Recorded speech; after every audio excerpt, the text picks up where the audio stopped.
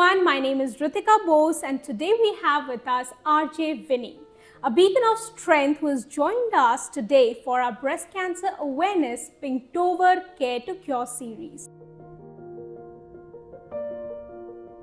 So, Vini, can you please tell us about yourself? Yes, Ritika.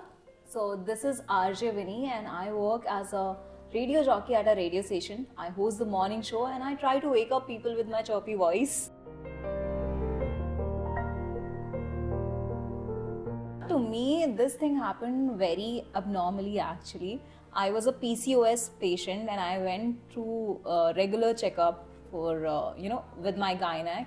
And i told her that you know i am feeling one lump in my breast from a very long time now and it's starting paining all of a sudden. And there is some kind of a redness which i'm facing in my uh, breast. So i told her and she like you know when you're going for a pelvis ultrasound why don't you go for a breast ultrasound as well like okay let's fine do this. And when i went for the ultrasound the doctor suggested that you know you should go and consult an oncologist. Within a week i got to know that i'm a cancer patient.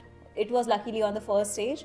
So there was nothing much to be worried about but it was still a cancer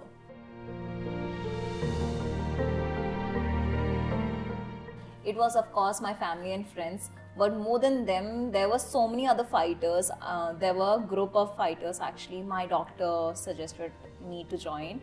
And when I joined that group, there were so many other people motivating me all throughout that, you know, it's just breast cancer, you'll go through it. Max to max, you need to get removal of your breast and you'll be fine perfectly. And I was like so motivated with that thought that, you know, it's just a body part. We need not to treat like, you know, it's a beauty statement.